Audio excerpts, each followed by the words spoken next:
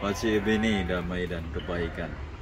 Mari kita merayakan hari raya penampakan Tuhan. Tiga majus dari timur datang untuk mencari Tuhan. Dan ketika kita mencari seperti tiga majus, kita akan menemukan dan tiga majus sudah mempersiapkan diri untuk mempersembahkan yang mereka miliki yang terbaik. Kami pun memiliki mawar yang akan dipersembahkan mewakili anak-anak.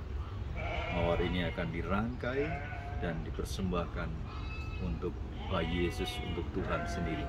Semoga kita pun dimampukan dengan cara kita mempersembahkan, mempersembahkan diri kita, mempersembahkan yang baik.